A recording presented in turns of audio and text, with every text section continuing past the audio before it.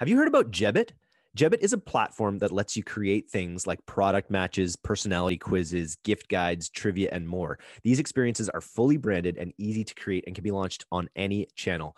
D2C brand Pour Moi Skincare has been using Jebbit for years and said, awareness, education, conversion, our Jebbit quiz does it all. Start for free at tryjebbit.com slash today. On with the show. Hello and welcome to the D2C podcast. I am Eric Dyck with co host Kyle Guilfoyle. And today we have a very special guest, a friend of mine, Dylan Carpenter, who is the host of uh, the podcast Rich Ad, Poor Ad. Uh, he's doing a lot of interesting things. He's also uh, running an agency called Koality Media, I, I believe we just said. Uh, welcome to the podcast, Dylan. Uh, just a quick story I met Dylan at a mastermind in San Diego, I believe uh, or was it in Vegas? It was either Vegas or San Diego, maybe both uh, that you were at. Uh, but we hit it off. He is a dynamo in the space. He's he he recently made a, a, really interesting post about a brick and mortar business that he was able to help. So so we brought him on to chat about the brick and mortar opportunity, uh, as well as a bunch of other things happening in the ad space. Welcome to the DTC podcast, Dylan. How you doing? Good man. That was an intro. I'm kind of amped right now. like, that's the goal. That's the goal with the intro. They usually just uh, they're they're prepared in the 30 seconds before the podcast, but but that's how they go. Uh, I wanted to ask you just right off the top, like you you seem you have your hands in a lot of different things. Uh, you're you, you a lot of different projects. I wanted to ask you what is your what is your zone of genius? Like what is your superpower as as a marketer in this space? Um, I think sales, I'm being honest. So I kind of I love Facebook and Instagram ads, and I mean it's all human behavior kind of style. So I went to college for marketing with the sales concentration, and I randomly fell at you know working at Facebook downtown. So I mean I realized what the value of it was. I was talking to agencies who were doing you know crazy numbers, so I was able to kind of realize what I was getting into pretty quick. It's where I kind of became a sponge. Of course, Adderall came into phase, and I learned a ton. But I mean my, you know, Straight with up. my skills at Facebook though, it was pretty salesy. So I was talking to beginners, intermediate, and advanced. So I think my communication skills really give me a good leverage because when it comes to talking to prospects, clients, or even guys like you, I can kind of gauge where anyone's at and kind of really speak to their language to kind of help them understand because you know this industry is crazy with acronyms and all these weird lingos and whatnot. But then of course, you know, I run a lot in ads, so I do a lot of testing. I have, you know, 15 different brands we run ads for. So I use all of those for other accounts, you know, how to kind of launch them. This is working here. Here's over this. Here's for this account. But I mean, at the end of the day, if you were to look at my accounts, it's, it's all creative oriented. You know, the algorithm is smarter than most media buyers. I'll, yeah, I have no problem saying that. So I mean, we just interchange creative like crazy to where most of our you know scaling campaigns are just really broad audiences. So I think my big skill sets are kind of just how I communicate with clients and you know potential prospects, as well as understanding the Facebook algorithm and the kind of back in the system. So really kind of make it go full circle because I'm all about transparency.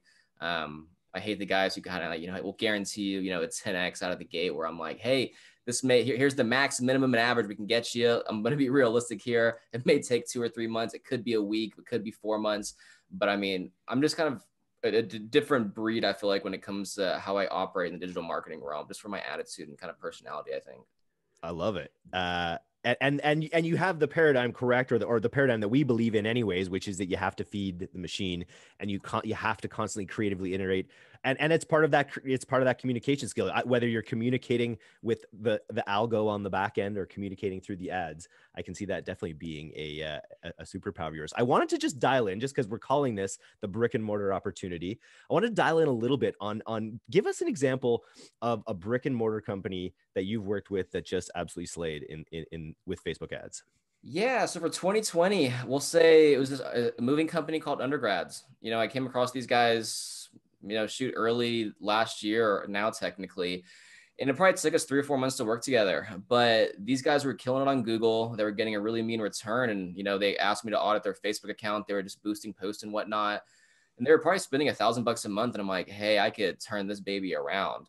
So, like, even in the first month of working with them, I want to say it was like in August, we spent 5K and generated 291 leads. Um, let me see how many actually converted off those. So, I mean, yeah, over 150 sales from those leads generated 60K in sales. So, month one, we had a 12X. So after that, they were like, oh, this is really working well for us. And they, the funniest part is they only had like three or four cities at that time.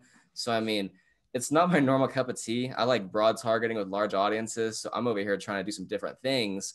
Um, but the other issue is, you know, the, they didn't have much data. So, I mean, for targeting, I was doing the Zillow interest, broad, you know, of course, you know, home buying kind of side of things, um, you know, remodeling, Home Depot, Lowe's. I was just doing a bunch of random interests and they ended up kind of hitting the spot pretty quick. But, you know, we went for leads. We weren't going for sales. That's where all the data was. So, you know, out of the gate, we started with the leads, then moved to purchase over time. But there really wasn't a month we got under 5X. I mean, of course, their slow time of the year, they were pretty, you know, around 5x, but in those hot months, it was easily 10x, you know, on that return on ad spend. I think so, the leads are key there. They, I think that's that's the one thing that local businesses really need to take advantage of. Like, you know, you can drive foot tra- traffic into restaurants or, or, into into stores, and there. I guess there's ways of tracking that. I'm not I'm not fully familiar, but really, you've got to you've got to get their email address and and sell them on the back end. What were you involved in the sales cycle on the back end at all, or were you just straight selling leads? So they had a call. They had a call center. So they were just every single lead we got, they made a call immediately. So it was a it was a good fine tuned process. Mm-hmm. And I mean, it did take a couple hiccups. Luckily, we used CallRail for phone tracking to realize some of these people calling weren't the nicest people out there. So I was like, yo, I don't know who this lady is, but she was just rude on this call. So we would kind of optimize the phone calls and like what to say, kind of give them a script more or less there but we didn't implement their systems and we kind of just gave a lot of advice on there because i mean if the ad, the ads were working the front end metrics were killer the cost per lead was killer. So i was like rather than us revamping entire strategy thinking it's the ads let's focus a little bit more on the back end. It'll be a little bit cheaper most likely. We're not going to have to reoptimize and relearn this new stuff. So that ended up being a lot easier of a transition to ultimately add more to the bottom line. It sounds like you were really helping them with the, the full stack, which I think um, is a big risk with, especially um, many local businesses who don't necessarily know the whole Facebook ads world and that it's not often going to it's not always going to get you like a, a, quick return. It's really like a, a, process like you said it takes you, you know sometimes two to four months or whatever. Um, so so what was sorry what was that tool that you said you used uh, for for uh, looking at the calls? Oh callrail. Callrail? Have you ever heard of that eric? Callrail? I think i've heard of callrail yeah.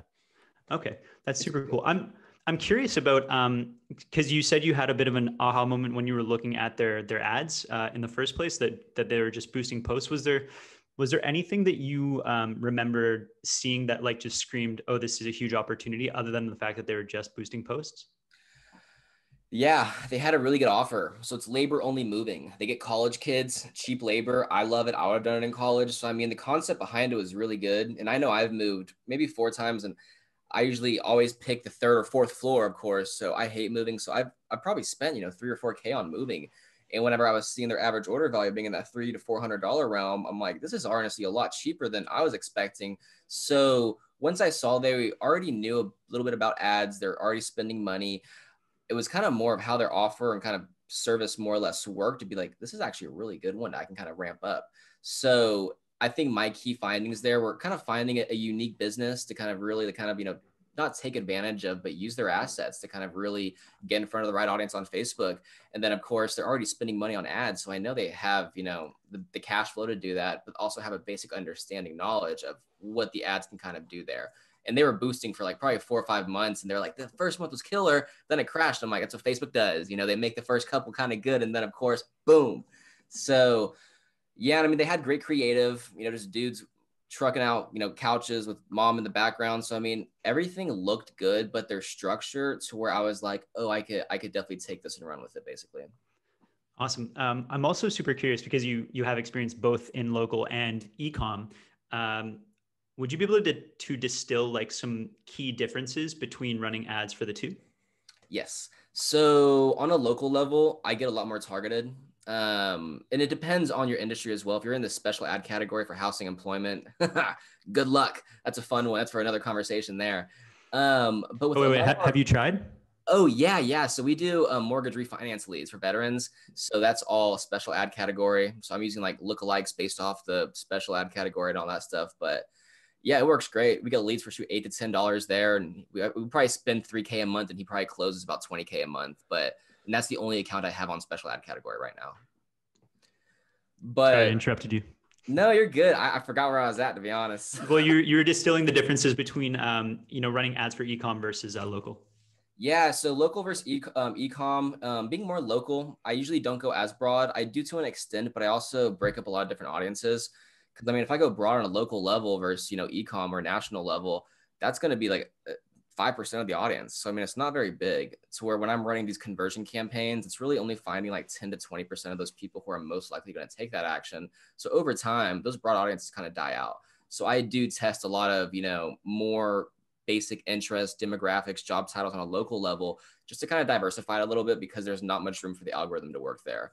On the e-com side, if it's nationwide, I'll stack these babies to 30 million plus. I'll go broad with zero targeting, maybe adjust the ages a little bit. So the targeting is a lot different there. And I want to say we get higher frequency on the local side of things. So it always depends on budget there but i mean even so for a guy who spends 5k on you know local lead gen and 30k a month for a random ecom brand we probably cycle the same amount of creative every single week um, or every other week if we're spending more than 30k on the ecom side it's a little bit more rapid but if it's an ecom brand spending you know 5 or 10k a month i'm probably not going to interchange the creative as much just because it's on a local level and i know it's that first time impression ratio is still pretty high there meaning the people seeing the ads for the first time is still you know pretty fresh still, I'd say. Awesome. I'm uh, keep saying things that make me curious. Um, yeah. So uh, the whole the the approach to going really broad on your on your um, DTC ecom campaigns, uh, I think is something that uh, a lot of people. I, I, still think a lot of folks default to, oh, I gotta you know get you know surgical with my targeting, uh, build lookalikes, blah blah blah blah blah. Could you would you be able to talk a bit about the the broad approach that you have? Yes, it really only works if you have a good amount of data and a good offer and good copy and good creative. So I don't really do it too much for newer brands. Like I launched one in December and our broad targeting just wasn't working. And now it shockingly is after 25 sales. So it's still pretty freaking fresh there.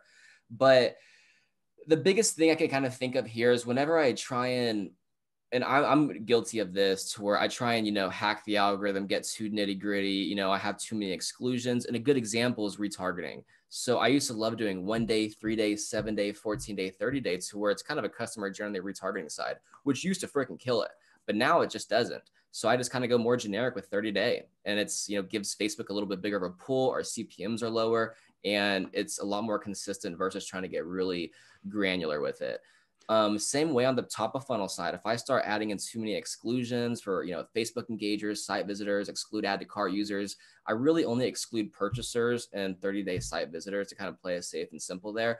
But I found the more audiences I try and you know add in there, whether unless it's a huge audience size, but the more I try and you know really tell Facebook what to do, the worse it does. It seems like. So we've really kind of grown to versus audience testing. It's more creative testing to where a good way to put it is if we have a sleep product, um, maybe the angle working for us right now is, hey, this is the best pill right here to, you know, fall asleep immediately. So where that's one angle, but rather than testing different audiences, I'd rather just go for two different angles on that specific product where it could be, are you tired of getting up in the middle of the night to go pee? Boom, I got a whole new pocket there. Or fall asleep and stay asleep to where those three different angles, I could use the exact same creative, but different kind of hooks on the actual copy side of things with the exact same audiences. But depending on who's clicking on those ads, the ads are optimizing themselves. So they're hitting different pockets depending on which kind of calls you out the most there. So you said it there, which calls you out. And I was writing about this in our year ender just last week about how the angles sort of find the people, as opposed to this idea of like you're going to narrow target and you know use all these targeting things, which are going like angles are never going to be more important after iOS 14 right? Like angles when when all of the tar- when it, you know the ang- angles will have to do a lot more of that heavy lifting in a way right um, you know, potentially at, at, that at that point. I, I, I do I would love to get your some some top level thoughts for, about iOS 14 from you as well. But I wanted to stay on local just for another question here. You mentioned you also worked with restaurants. I don't know how many restaurants are listening or how many we have on the list. I know we have a ton of food companies uh, and, and things like that. But I was I was curious what your relationship looked like with the with the restaurant and how that worked. Yeah, it's hard. I'm not gonna lie to you.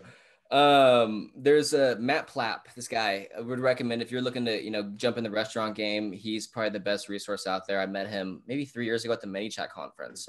So I had Shiny Object Syndrome. I heard about chatbots. Sounded really cool. I love robots. Let me try it out. So I jumped on that bandwagon really quick. Um, fast forward to today, it's changed so much. Facebook changed their rules, ManyChat changes their rules. I don't want to keep up with it. So basically, on the restaurant side of things, all we do are specific offers to where it's like, hey, claim a free appetizer, get a free drink here, get a free dessert. You claim that via the chatbot, which then goes to a Google spreadsheet. So we have to kind of cross correlate these things with offline conversions, basically, which is not fun in my opinion. So we basically kind of get that initial lead for, of course, the appetizer. They show it to their waiter. Boom, the waiter clicks a button on the actual messenger itself. They can't use that anymore. But then we have sequences that go over time, so we can actually track if they've been in there more than you know one time, two time, three times. And you know, if they've been there five times, we give them a really special reward, like you know, half off your dinner or something, basically. So on the restaurant side, it's more to kind of get awareness out there, which stems from creative. Restaurants are different, so where I'll go broad. I don't really care. You know, I'm not trying to Everyone hit veterans specifically. Yeah. So I can go really broad there to where it's more of just really badass food creatives and then a good offer saying, hey, we'll give you our cheesy bacon fries valued at $12 for free when you come in this week only. So if I show you some cheese fries, you're like, damn, this look pretty good. You go into the chatbot, you click redeem offer. You're now in our chatbot. And we have some other ones we'll go for phone numbers or emails to kind of give them alerts, but it's really having them opt in. So we have them on the omni channel approach side of things. But yeah, it all stems from an offer. And then, of course, some crazy follow up sequences. But the hardest part was setting up the back end to be able to show this person's been in here once, twice, three times to where I had to use other people's kind of third party systems for that because I just don't know how to do it, you know, personally. Yeah, it's that's that's super cool. I, actually work with a couple of restaurants as well, and um, uh, something that works well, um, which I'm, I'm sure you've done before, is uh, because your audience is small, it's or smaller, especially like we're in Victoria, BC, which only has a population of like I don't know, 380,000 people, um, are just uh, just special event uh, ads. So like you can always have like a birthday ad going where Facebook is targeting folks who have upcoming birthdays and just give them a special deal or like an anniversary. Um, that's I've seen that work really well as well. Um, but yeah, that's super cool. Um, I like it. But one one other thing too, just just to unlook a little bit more so you know, I, have talked about a friend of mine who who runs. Uh, he got an opportunity to. He was working with a sort of a big old school freezer uh, seafood company, and uh, he he basically started listening to the podcast, and and so he got this. He's like, I'm gonna I'm gonna pitch this company on building them a D2C brand. And he built them a a D2C brand, which is this lighter, cooler, you know, d- direct to consumer brand where that where now he's shipping, you know, and and delivering seafood, frozen seafood across the island, and he's just crushing these gold targets. So I'm always interested uh, and and your your moving uh, company example is a really good example of, a well as well of sort of finding those situations where there's really where where Facebook really is like a superpower. Like there, you know, for a lot of local businesses done right, you know, restaurants may might be tough, you know, but but uh, for anyone listening this who's got a business who's you know you know thinking about about running Facebook ads, like w- what are the you know what are you looking for, you know, in clients that you would work with locally, essentially? So these days, cash flow is a little more of an issue. I feel like, so, but it's a topic that needs to be discussed. Um, I then kind of dive into their. So for me, like whenever I work with a client, I'm like, cool. What's your cash flow? What are your break even metrics? What's something that makes you happy? What are some good offers? And how's your creative? So I mean, on the restaurant side, I think it's creative. I'd want them to have a good organic front. They're posting consistently because I mean I know I can repurpose that, and if they're doing good organically, I know I can scale them pretty hardcore on the you know actual paid ad side of things. So, of course, you know some sort of budget, but also kind of a basic understanding of Facebook, and to some extent, because it's a lot of education on the platform. to Where hey, I'll put five bucks, and what's going to happen? It may come back today. It may take three months to come back. So I mean. It, I really do a lot of self, you know, or just kind of explaining of kind of how it works, the different scenarios, um, case studies, of course, just because you know they don't. A lot of them don't understand that. So where they just kind of understand this, the Groupon side of things. That's another good angle. If you want to find some quick businesses to kind of run ads for, go on Groupon. They're paying a fee for that. It's a very easy lead there. So I did that a while back when I left Facebook. Kind of took probably 10 to 15 businesses from Groupon and like, hey, I see you have ads on here. I bet you can try this, do way better. And that worked pretty solid there. Um, I got I got man, I got sidetracked. I'm sorry. That's okay. it's all good. Um, yeah. What about what what about budget? How how does that how does that differ um, for for local businesses? Yeah, so I mean, I really recommend 50 bucks a day minimum on the local business side. So I mean, it's 1500 bucks a month. That's like if they're not doing anything to where I mean, we could do a thousand bucks a month because I mean, it depends on what kind of restaurant is high class, you know, not as expensive because that's going to determine the lead cost. It also depends on the offer and the creative there. So I really, even on the e-com side, if I'm launching a brand and I recommend 100 bucks a day minimum because you can 100% learn from 100 bucks a day, regardless of where you're at. But I don't think you know many startup restaurants may have that, so where $1,500 may be a little bit easier on them, and they can kind of probably see a quicker result from that. So where hey, let's try that for three months versus the old 3K. To where you know it gives them more of a proof of concept, which is a lot of the times what they need. The other thing I mm. think um, needs, like they they often need ed- education on, is because um, you say fifteen hundred bucks, but that that's not all they're spending, right? They're going to spend on your services as well, too, right? So oh, yeah. how how do you how do you navigate that that conversation? Because I think that applies to all all businesses who have don't have a lot of experience running ads. Yeah, so that's when I pull out the case studies and different kind of use cases. Because as mentioned, I'll never guarantee results. You know, if somebody's you know spending a good pretty penny and they're doing pretty good, I can usually kind of estimate what I can get it at. But I'm just really upfront. Hey, here's an account that took three months to get going. Here's one that took a week. Here's one that took five months. It's kind of case by case in these scenarios. I think yeah. And if I think they're going to have issues, we'll go in and revamp their offer. We'll reshoot their creative. We'll do all of that. Um, we don't have a problem because we're not going to, you know, make somebody pay us if we're just trying to make a pretty penny. We want to make them some money there because, as you mentioned, the retainers aren't cheap there. So, I mean, if they're spending fifteen hundred bucks a month, we want them to get at least a four x minimum to kind of at least make a little money uh, with that, including the retainer for the most part. But yeah, that's a trickier conversation there because it's it's expectations. You know, I find being really upfront and just really transparent. Hey, I'll take you into an account right now and kind of give you, you know, the rundown of how it was the first month for them. It may not be the same scenario, but we're going to implement the exact same strategy to try, you know, and replicate this to where people like the upfront and honest side of things, and that's just kind of been the way I've been kind of going about things.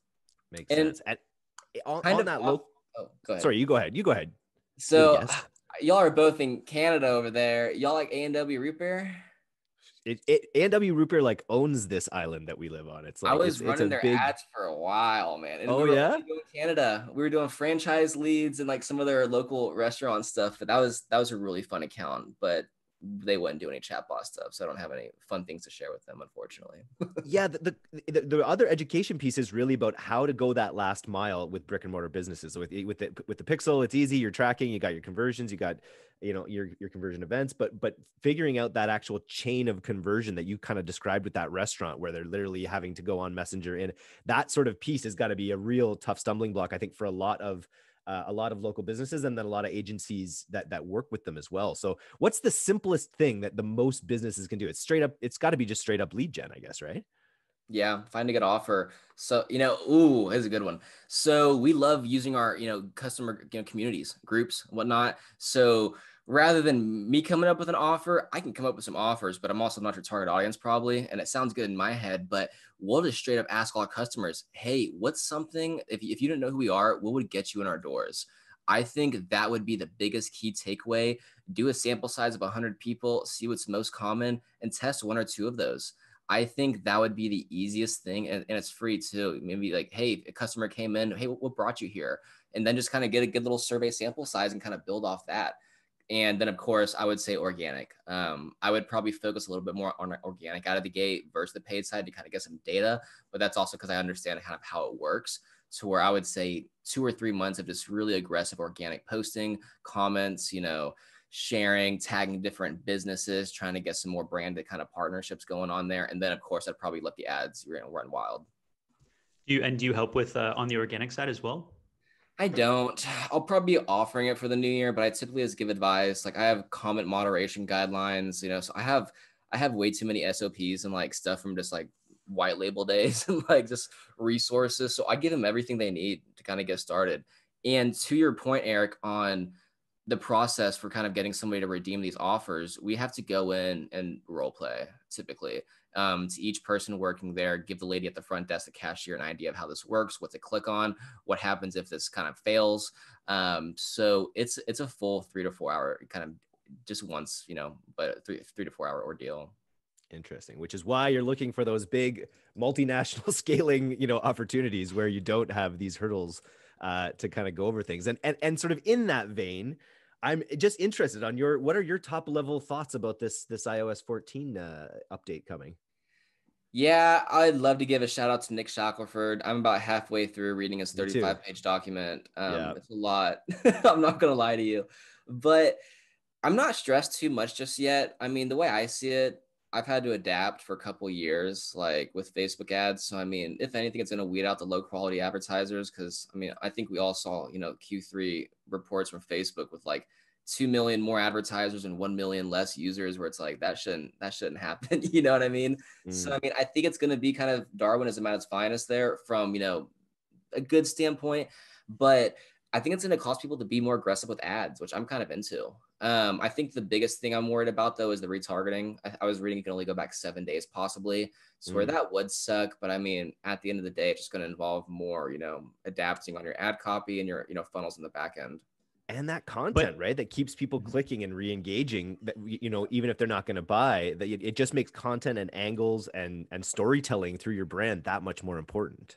And data i would say everybody get your own email list I, I, wish i started sooner but i mean i think everybody should have an email list whether it's for your agency or personal brand a business or a client you work with give them the advice to start doing something to build a list because I've audited so many accounts and I used to hate email marketing, but of course I met the legend Chase Dimond himself.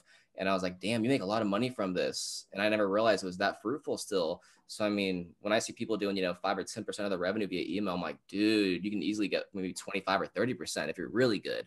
So, I mean, it's, you know, email list, killer, cell phones. Like we were doing um, some stuff with Cristiano Ronaldo selling some underwear, and we had a chat campaign. So it was to win a free signed, you know, pair of boxers from Cristiano Ronaldo, and we were getting leads for twenty cents, but it was an SMS campaign, and they couldn't buy online or anything. It was all to their phone and whatnot, but that was really fruitful as well. Very interesting. So what what are you focused on in like how are you? It's funny we're we're doing these resolutions that some of our our, our past podcast uh, guests gave us, uh, and one of the, one of the interesting ones was about focused and avoiding shiny object syndrome and you know you sound like a multifaceted person that's able to take on all these different kinds of challenges like what are you going to do in 2021 to limit your shiny uh or just to go after the right shiny objects i guess yeah so i was doing white label ads for a while i did it for two years i left because so explain that explain that exactly so that means that you're someone else is white labeling your ad buying Exactly. So I left Facebook with five accounts. I lost two. I freaked out. I'm like, shit, I need some agency work. So an agency kind of found me. They were doing white label Google PPC. So an agency would essentially hire our white label agency to run all the ads for their clients. So we would charge them a thousand bucks. They would charge their clients 2,500 to where they're, they're making money, but they're not the ones actually, you know, implementing everything. And I mm. did that for probably two years. I got them well over 700 accounts, built multiple teams in there, a ton of SOPs, but I got burnt out. It's a volume based model. I dreaded it after a while. So this year, I kind of focused more on the freelance side of things. I've had my agency Koality Media for like three years now, but I've kind of hit a cap on my personal side of things, and I kind of want to scale up because shiny object syndrome is a real thing, and I want to keep time for that. So now I'm looking. I just hired a videographer. I'm hiring a copywriter, some other media buyers, some Google media buyers, um, one more for Facebook and Instagram. So it's kind of more to just build out my team to kind of get to that next level on the agency side of things because I have all the processes, the SOPs, the kind of more the credibility side to where I'm just capped out personally. So I hated agencies, but now I'm kind of like back in the agency game because I know I've kind of capped out the freelance side of things. So for me, it's more of delegating tasks and paying people for it, I guess you can say, versus trying like to it. do it all. Are there um like are there I, I think it's it's worthwhile to to dive into that a little more because we do have quite a few agency uh, owners who who listen to the cast. Um and and I think burnout is is a big is a big risk. I think another question is also um do I do I continue down this agency road or do I you know do I build products? Um, for example, um, so you're not always having to react to, to other people's problems. Um, are there some other ways, in addition to standard operating procedures and uh, building a team, that you're looking at scaling? Have you thought of info, for instance? I, I, I always I always feel like you're someone that that would could really benefit from an info arm as well. I've never tried it. I mean, yeah. so I'm, I'm, I partnered with a brand. So one of my clients, they have another brand and we're going to 50 50 it. So that's pretty exciting. But I mean, I've always wanted to launch my own brand, um, my own course. It'll be outdated by the time it's done or something. So yeah. the course idea is out the window. I also don't want to be one of those guys, unfortunately, um, and kind of put the time into it, maybe have it backfire or some shit. Cause you, you see my car, man, I'll be doing donuts for dumb shit, you know, and oh, look at this guy. But But yeah, I mean, I already kind of forgot the question if I'm being honest.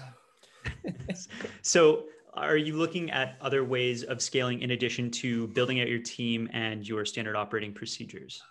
Yeah, so more angel investing. I've been kind of getting more into that and not like heavy, maybe like 5K, nothing too crazy. To where there are a lot of startups that I see potential and I can usually gauge like this could be really big. To where mm-hmm. they've been active for three months. It's, it's an easy win for them to get more ad spend.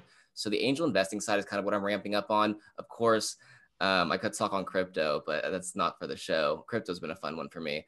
Um, but I'm kind of just getting more into like investing side of things outside of what I'm doing. Cause I mean, it's, it's nice having a surplus of cash, but when it's not earning you anything in a bank, I'm like, what else can I do with it?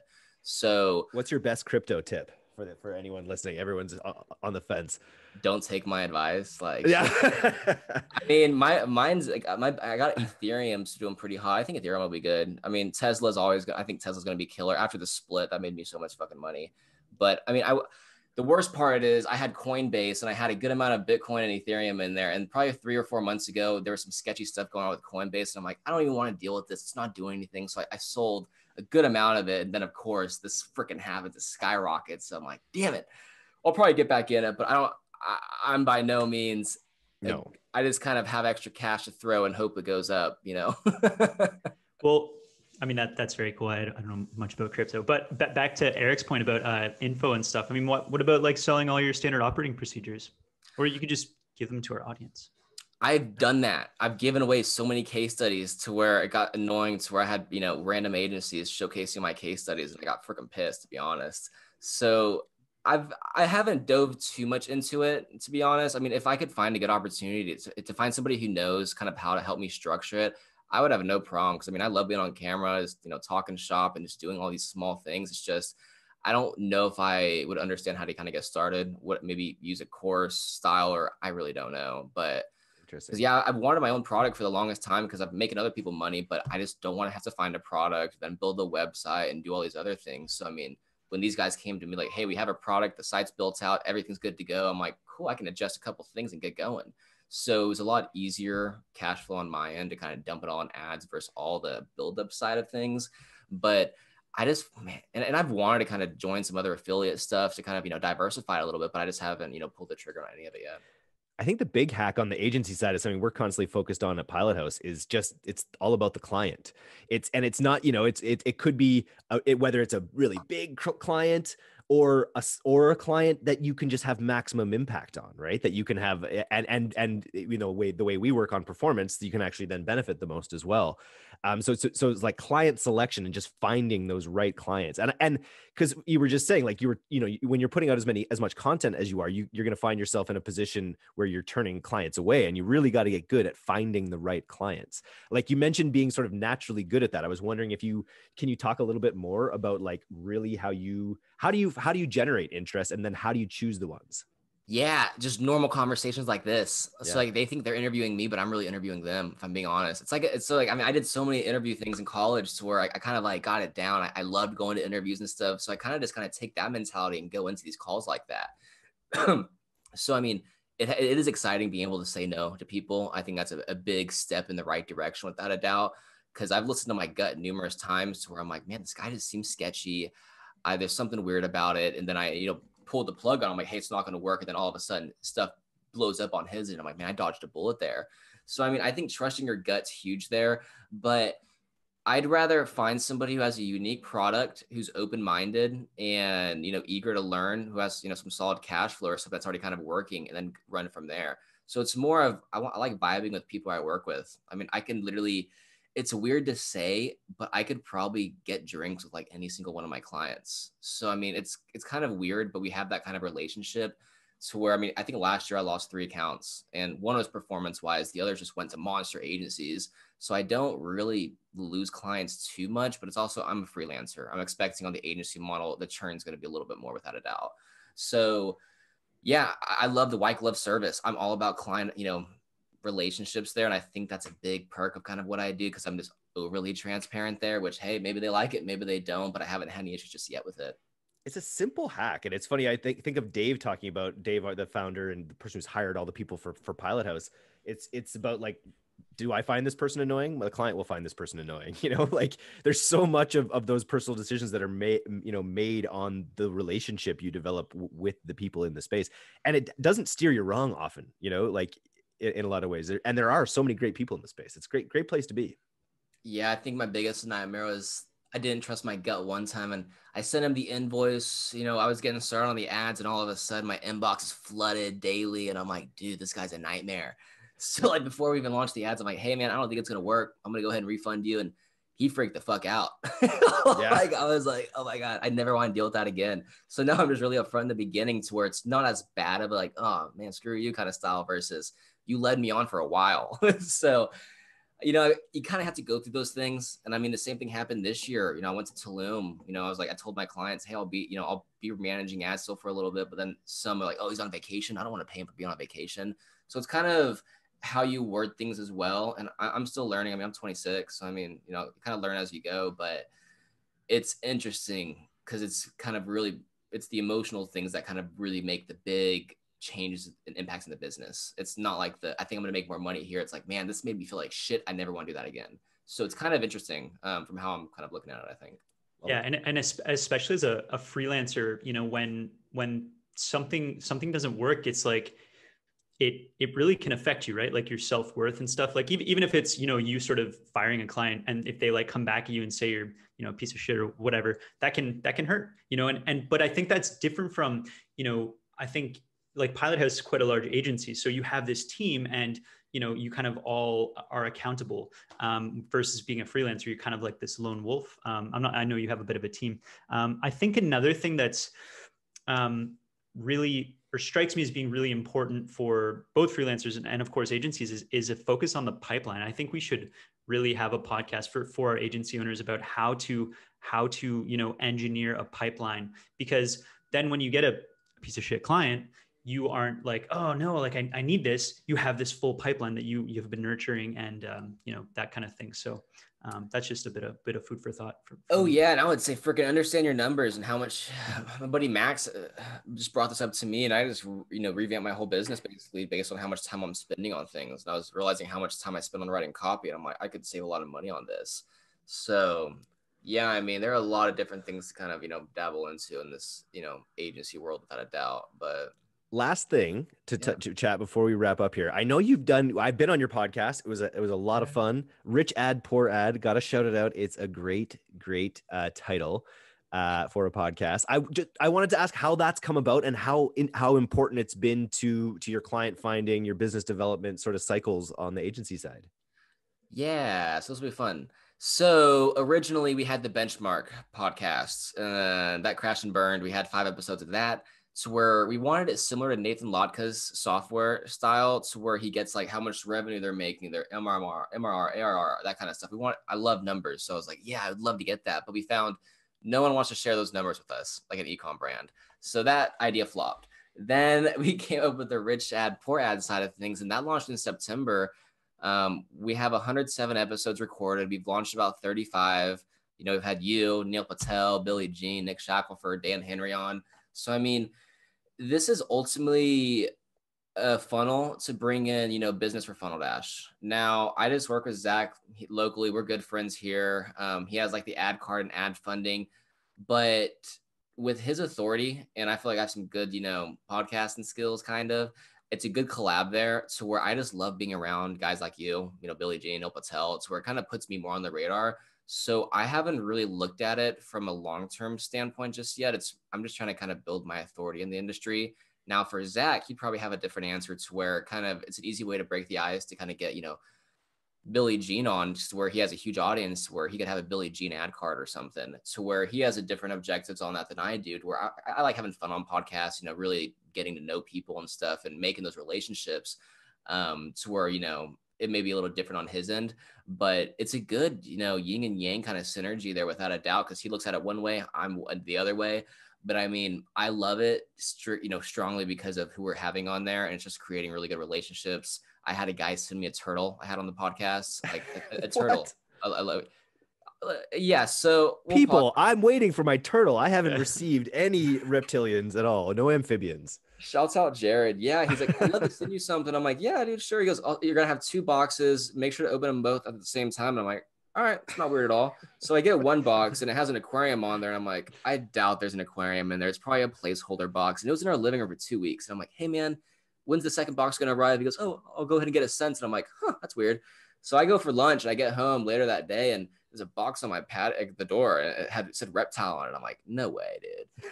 so I had a call in 15 minutes and um I realized that it was a turtle in there. I opened it and I was like, I felt terrible. A turtle was shipped to begin with. And I'm like, I can't let it stay in here longer. So I have to do this aquarium now. So I called the client, like, hey man, something came up. I just had a turtle show up on my doorstep. I got to get it out of here real quick. And he's like, yeah, take your time, take your time. And I'm like, all right, cool, thanks. Um, but yeah, now I have a wicked sweet turtle. Her name is PK. You know, I pimped out her aquarium, but it was an odd gift, but it was, I love it. is, is it named after PK Subban? No. Hockey, reference? Hockey, hockey reference. I, have been thinking about that, but now I had a hockey game that night. So I told my girlfriend, "You got two things to do tonight: come up with a name and do some research on turtles. I don't know anything about them." So she did it all. Learned a little bit. It's peekaboo for short, but I call her PK. Um, oh, that makes sense. Not yeah. as cool as hockey. Yeah, it's close. It's close. Little PK but yeah, it, that's a cool little podcast story. But we've had guys who are talking about, you know, sponsoring us, which is really exciting. Um, we're getting and then your of- growth. This is something you told me personally, but I want to get it out on the podcast as well. And it's something that we have to do more of in 2021. But you've got you, you've gotten pretty decent growth. You're getting a couple thousand listens on the podcast. Oh yeah. Like, and what's your main hack for how you've achieved those rankings? Sending people like you all of our highlights, the email blasts, the thumbnails, the blog posts. So we have three people on the back end who do the tra- it's well the transcription's like a, a, a software, whatever. But we have a website person, a video editor who does the highlights for like little thumbnail snippets for social postings, and then we have somebody who writes the emails, the headlines, and like the social stuff, which is the copywriter. So it's about seventy to eighty dollars to produce an episode right now, currently. Um, but yeah, we're having trouble keeping up with bandwidth. So we're kind of releasing three a week, but it's kind of blown up a little bit more than we were expecting. But the biggest hack I would say is just tagging, you know, you on the social media posts because you're probably going to share it at some points where it gets into your audience. So we've had to re we've, we've had to rearrange the actual episodes to where Billy Gene would be coming up in March. We're like, he has a huge audience. Let's expedite this one because he has a huge audience there. So we're kind of moving them around to kind of really focus more on the audience growth side. And we are going to start running ads to it probably in the coming, you know, week or two. Um, but right now it's kind of been a, a tactical deployment of special guests to kind of break into their audiences, I'm being honest. I love it. And you're getting them to mail as well. Are you getting them? You're sort of giving them clear instructions on what you want them to do. Um, I can be better at that probably, yeah, but no, I'll send hard. them the email, like the highlight snippet, the link to the podcast. Then I'll sometimes tag them on the actual FunnelDash post or whatnot. I try and give them as much as possible, but I mean, it's easier for someone to click share versus upload their own thing about it. So I'm kind of learning that it's just easier to tag them in something because they're going to share it from there versus check this out, y'all. Here's a, you know, do it themselves because we're all busy. I, you know, I'll probably share this. I won't make a post about it, but I'll definitely share it. you know, like there we go. So nice. I was just, I was just trying to get to that. I love it. Uh, and we love to have our podcast guests join us on DTC Plus. So we'll be sending you uh, an invite to join us on on DTC Plus as well, What's where that? you can be. DTC Plus is our membership community. Since you ask, it it gives you access to our monthly workshops, uh, as well as live podcast appearances and all of our content in our content vault on DTCplus.co. Is that that Snapchat course I just bought yesterday? Yeah. So, but you bought that standalone. You bought it as a standalone, so you yeah. don't actually have access to DC. But you know what? We are going to bequeath you uh, uh, membership now that you've appeared on the podcast because that's part of the value proposition. Is that people like you are part of the community. I would love that, man. Yeah, because I was like, I want this one course. I'm like, let me see what other ones they have before I do the the the 99 a month. I think it was. Let yeah. see what else I got cooking. So I was like, let me get that for now. But yeah, me and Andrew both got one for Monster Agencies. So we're like, dude, I'm trying to spice up the Snapchat game. So you know. I love it. Well, you got the best two teachers coming up in uh, in just t minus ten days. KG and I actually have to write a few emails this afternoon uh, to get a few more people on it. But yeah, no, it's been going great, and it's just great to work with Van again. It's just great to re bring back these people in your life that you meet. And I just got to say that I just can't wait till we can meet again uh, and, and have a few drinks over a mastermind in the future again. For real, man. I'm I'm amped for them. I need to get out of here. You know, to Mexico is fun, but I, I need to get out of here, dude. Texas rebel, true Texas rebel. Uh, love it. Anything to finish off there, KG? Uh, yeah, yeah. So we, we we like to. There's a wrap up question we like to ask, which is, uh, if you had, if someone just bequeathed you with fifty thousand dollars in addition to DTC Plus, um, how would you spend that in your business over the next uh, quarter, two quarters, year, etc. Man, I would record the most outrageous marketing videos, and I'd probably try and turn that 50k into four to 500k. So, okay. I mean, I could easily, with that, I could easily have like seven to eight crazy marketing videos, and two of them are gonna hit the jackpot, I swear. So yeah. Yeah, we didn't talk about that. We published one of your crazy marketing videos yeah. uh, in one of our newsletters a while ago. Oh, yeah. And I think that's a really good insight is that sort of like real standout content is really what matters these days in a lot of ways. Talk a little bit about making that that post and, and what that brought to you. Yeah, that was that was nuts. It went viral on Twitter of all things. Um, and then in the Facebook ad buyer community, if y'all saw it, it's like the, the laptop with all the Apple screens. You got Jarvis so cool. talking about how good your ROAS is and stuff. That was that was fun. But yeah, my buddy came to me. Um, he goes, "Hey, we're doing more VFX videos." I'm like, "What is that?" He sent me a little screenshot or a video of one. I'm like, "I want that." So originally, I was like, "Hey, I just want one for me." I was on the couch being cool and stuff, and he goes, "You can probably make a marketing related." I'm like, "I don't have to," and he kind of talked me into doing it. So he came up with the whole idea behind it. It was going to be ads in 2050, basically. Um, and yeah, I, so I had green screens on my phone, my laptop. So I did 60 frames per second to record all the stuff. Um, sent it to him. He sent it to his guy wherever he could be Bangladesh, Egypt, Dubai. No idea, to be honest. Um, and then he just kind of edited everything and made it look crazy good. We had to hire a guy who sounded like Jarvis to read out a script based on ads and stuff. It was quite a process, but you know, I'm trying to get him more leads. I think I got like 60 or 70 leads, but there's so many freaking to go through. And it's not a cheap video, if I'm being honest. I mm-hmm. mean, it's pretty um they're probably starting at 2500 3k and that's for maybe some 30 seconds if that. Um because we have some guys use it for brands uh you know personal branding. It can be used for anything. I'm trying to test more ecom products with it like cosmetics have colors pop and stuff. Where it'll be a little more cheap there but it's it's very thumb stopping so I'm trying to find a way to kind of leverage those and monetize it in my own way as well, because I'm kind of partnering with him to where I'll get a commission for all the ones he commits, but I also want to implement them for my business. And I'm probably going to run that one in a freaking ad. I don't know. Who knows? You said 2,500 to 3K, right? Mm-hmm. Uh, which is which is crazy because it's you know I, am in contact with some with some other bigger big creative agencies and things like that, and they're you know there there's a there's a type of client that that is paying 25 to thirty thousand dollars for you know TV worthy spots or or you know specifically styled things. It's like that scale of video production uh, is can be so massive, but it's but there are so many great purveyors. And I, you're talking about Andrew Moles from Monster. Uh, no, this is my buddy Alex Livian, and he's in, over in LA. Okay, cool. Uh, but yeah, there's just so much that's possible with video now uh, that I think yeah, investing 50k into some high end video content is the way to go. Great, you win. You win the uh, DTC Plus membership. Congratulations. Not the $50,000, unfortunately. You just missed that. Damn it. One call away. You're so close. nice. Okay. Well, thanks for coming on. This was a lot of fun. Uh, this will be out in a few weeks. And uh, yeah, look forward to uh, having you share it when it goes out. Yeah, for sure, man. I'll blow this baby up. Nice. Love it. Okay. Let's blow up 2021. Okay. Bye. Bye.